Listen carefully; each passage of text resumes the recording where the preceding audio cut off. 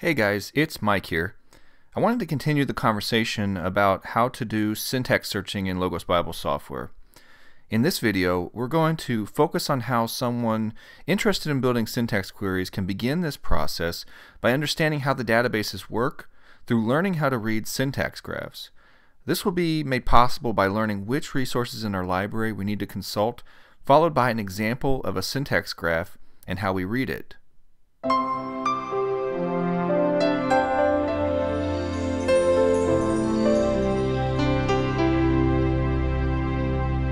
For Hebrew, the options for syntax searching are pretty simple. It is Andersen Forbes database or bust. To begin the process of doing serious Hebrew syntax searching, becoming familiar with the resources needed to search this database is a must.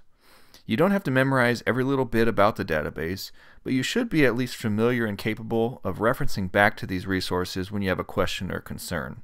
The first resource you need to be familiar with is the Hebrew Bible Andersen Forbes phrase marker analysis. This is needed for learning how to actually build a syntax search as it visually represents the overall structure of how the syntax database operates. We'll cover how to properly read this graph in just a bit. The second resource you must be familiar with is a systematic glossary to the Andersen Forbes analysis of the Hebrew Bible. This resource is extremely helpful in defining key terminology that is used by Andersen Forbes when they built their database. For instance, one of the key terms that you'll need to be familiar with is a clause immediate constituent, or KIC. You can open the glossary to get a full rundown on the function and meaning of this term. For Greek searching, the menu is a bit more robust. For this video series on syntax searching, I'm only going to be focusing on two of the available Greek syntax databases used in Logos. These are the OpenText database and the Cascadia database. Just as was true about the Andersen Forbes Hebrew syntax database, these two Greek databases also come with their very own clausal outlines and glossary of terms. For the OpenText database, you'll want to locate the opentext.org syntactically analyzed Greek New Testament clause analysis as well as the opentext.org syntactically analyzed Greek New Testament glossary. For the Cascadia database, you'll need the Cascadia syntax graphs of the New Testament SBL edition and Cascadia syntax graphs of the New Testament glossary. While it's ideal to learn both syntax languages in Greek, realistically, set a goal to learn just one. My preferred database to use is Cascadia for various reasons that I don't have time to go into right now, but if you want a recommendation, go with that one. The next step, once we've familiarized ourselves with an overview of the different databases, is to actually begin to analyze the database itself. Since this video is working as an overview, we're going to ignore the nuances between the different databases for right now and look more generally at the practice of reading a syntax graph. All three databases function in much the same way. Because of this, we're going to reserve ourselves to looking at the Andersen Forbes database as the overview of how to read all syntax graphs. I'm going to get started by opening up the Andersen Forbes phrase marker analysis by going up to the command bar and typing the name Andersen. Keep in mind that this is Andersen with an EN on the end as opposed to an ON. Let's make this panel take up the whole layout so it will have optimal viewing experience. Then turn the phrase analysis to Genesis 15:6.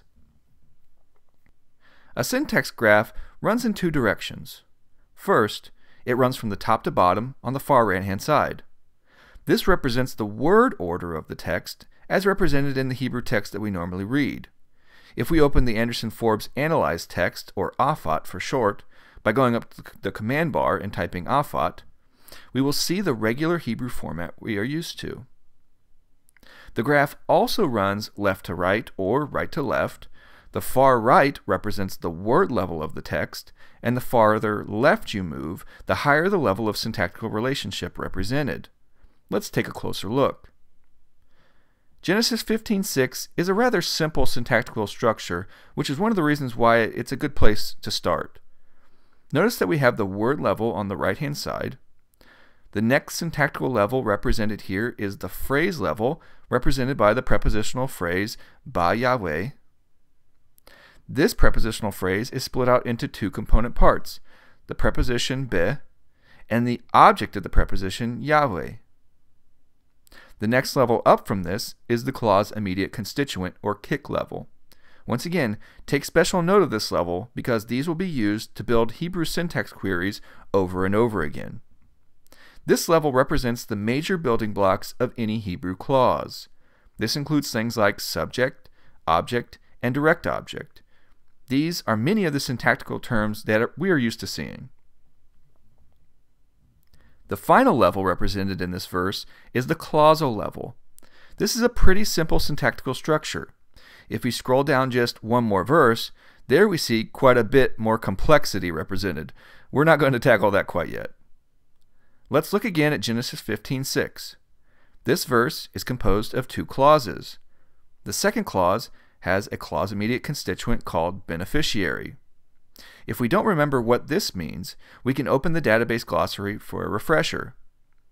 Go to the command bar and type Andersen, once again with an EN on the end as opposed to an O end, and select the glossary from the dropdown. We can find the entry for beneficiary by pressing Command F on a Mac or Control F on Windows to run a quick search of the panel. Type beneficiary and hit enter. Here we see that it is found in the section of semantic roles. It is defined as a clause immediate constituent that refers to the recipient of a beneficial action. If we were to break verse 6b down, we see that the verbal idea of chashav, or reckoned, with an implicit subject, Yahweh. The direct object is represented by the suffix pronoun ha, with an appositional complement that further describes this object, sadaka. Pretty much all of the syntactical databases operate and are read in this fashion. Obviously, there are going to be nuances to each different database that will slightly affect the way that we read it, but we have at least a common starting point for moving forward. In the next video, we're going to begin the process of building a custom syntax query at the word level. We will focus that video on doing a Hebrew query, with the following video looking at a Greek query. If you have any questions up to this point, please leave them for me in the comments below. If you like this video, make sure to give it a thumbs up and subscribe to the channel so that you can be alerted when the next video is made available. As always, enjoy mining the depths of the scriptures with Logos. Until next time.